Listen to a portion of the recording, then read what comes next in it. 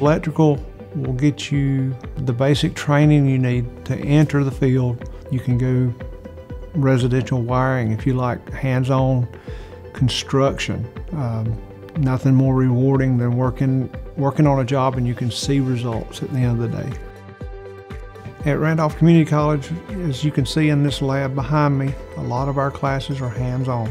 Hands-on is still the key to success with working with these devices, especially uh, electrical systems. You, you uh, real world situations just outweigh anything virtual that can be put against it. You have a little bit of variety. So in electrical, you're not you're not tied to one business, so to speak. If you can think about a business that runs some device that uses power, that's pretty much everybody. So I'm not tied to one manufacturer or one thing. Being able to be diverse in the field, move around, is a, is a benefit that a lot of people don't enjoy in other programs because they get too focused on you know the manufacturing process of what they're doing. You know, electrical is not something that you just play with. You've got to respect it.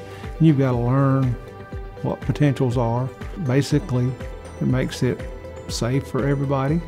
It's hard to simulate virtual safety when you have to exercise how to read a meter and see if a voltage is present or not.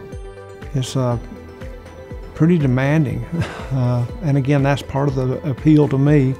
It's not easy, so everybody doesn't do it, uh, and it's rewarding.